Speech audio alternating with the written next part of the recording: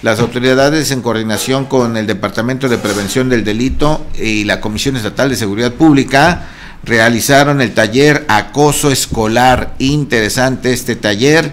Fue en la escuela primaria Celerino Manzanares. También se ofreció la conferencia presencial Delitos Cibernéticos en el CECATI 100.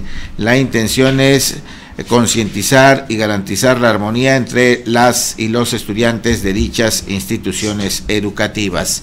Oiga, qué bueno que se hace este tipo de conferencias y de actividades para que los niños aprendan, entiendan y adviertan los peligros que hay. Ya ve que hoy este tipo de temas eh, pues es recurrente eh, la titular del área de protección, de prevención del delito en Tlaquiltenango, dijo que es importante, es lo que le decimos, es importante acercar estos temas de prevención en todas las escuelas y lo van a realizar ahí en el municipio.